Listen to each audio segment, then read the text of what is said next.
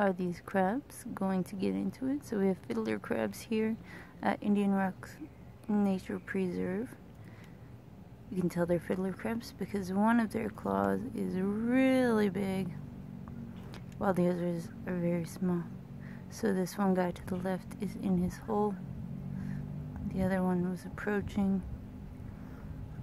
And yeah, like fighting. Looks like it. I mean, it's not super high intensity, but they're using their large claws to try and drive each other away. The one on the left is like, get out.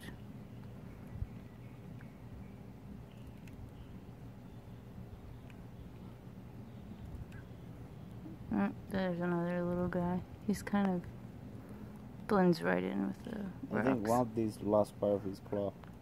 Oh. The one on the right? Yeah, I think he's a disadvantage. Ooh. Well, best of luck the to other you. one's trying to bring him into the. Oh, to the hole. He's not having it.